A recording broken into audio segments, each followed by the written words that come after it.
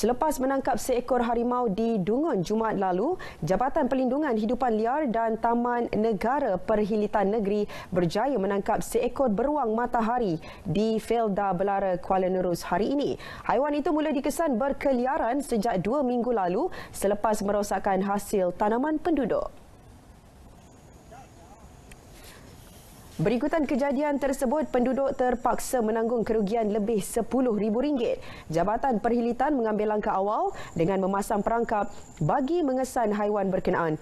Beruang betina seberat lebih 70 kg itu dipercayai memasuki perangkap yang dipasang di belakang rumah penduduk kampung kira-kira pukul 9 malam pada Isnin. Seorang peternak kelulut, Muhammad Yusri Mustafa berkata, beruang berkenaan telah menyerang dan merosakkan tanaman kelapa mata dan sarang madu kelulut miliknya.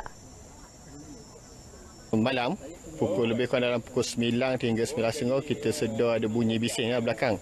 Kita pasang perakat alih dalam kawasan saya ni dah lebih kurang petang semalam. Okey. Lepas tu saya jangka dalam lebih kurang pukul 9, pukul 9.30 malam dia masuk perakat kita sedar pun pagi tadi pukul 7. Sebab malam malam tadi memang kita tak berani nak turun lah.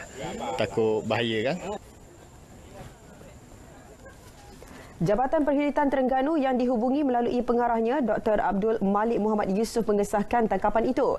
Katanya beruang matahari atau nama saintifiknya Helarctos malayanus akan dilepaskan ke kawasan Taman Negara Terengganu.